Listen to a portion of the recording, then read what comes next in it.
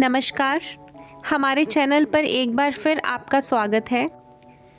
जैसे कि हमने हमारी पिछली वीडियो में आपको कुछ ऐसी प्राचीन काल की घटनाओं और उनसे जुड़े किस्से और कहानियों के बारे में बताया। आज भी हम उसी वीडियो को आगे जारी करते हुए कुछ और ऐसी हैरत अंगेज़ कहानियाँ बताएँगे, हमारे धार्मिक स्थलों से जुड़ी हुई, जिन पर शायद ही आपको यकीन हो। तो आइए वीडियो शुरू करते हैं और बताते हैं इस बार की सबसे पहली कहानी।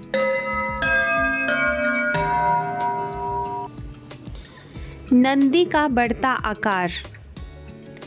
देश भर में भगवान शिव के कई करिश्माई मंदिर मौजूद हैं, लेकिन आंध्र प्रदेश के कुरनूल में मौजूद यंगती मंदिर उनमें बेहद खास है।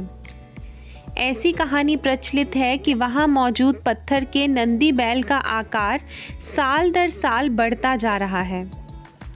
इसके कारण मंदिर प्रशासन को वहाँ मौजूद एक खम्बे को भी हटाना पड़ा।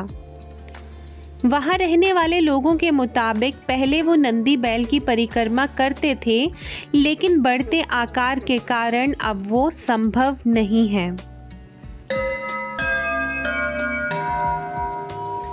शिव भक्त कोबरा। तमिलनाडु के येप्रुमनलूर स्थित शिव मंदिर में एक ऐसा करिश्मा देखने को मिला, जिसने सभी को चौंका दिया। साल 2010 में रोज़ाना की आरती के दौरान मंदिर में मौजूद पुजारी ने देखा कि एक कोबरा अपने मुँह से पेड़ से पत्ती तोड़कर शिवलिंग पर चढ़ा रहा है। ऐसा उसने एक नहीं, दो, तीन बार किया। इसके बाद ये किस्सा आम लोगों के बीच बेहद चर्चित हुआ। मंदिर का सातवां दरवाज़ा।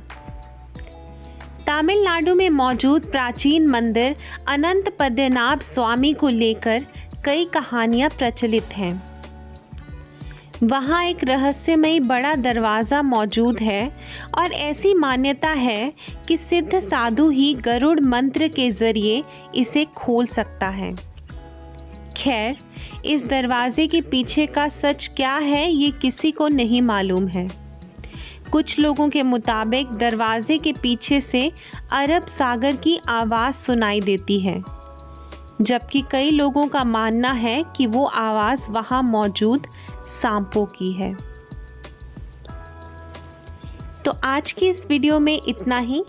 हम आपसे जल्द मिलेंगे कुछ और नई खबरों और ऐसी ही रहस्यमयी कहानियों के साथ। तब तक के लिए देखते रहिए हमारा चैनल और अगर आप नए हैं तो सब्सक्राइब करना बिल्कुल ना भूलिए। हम जल्द मिलेंगे।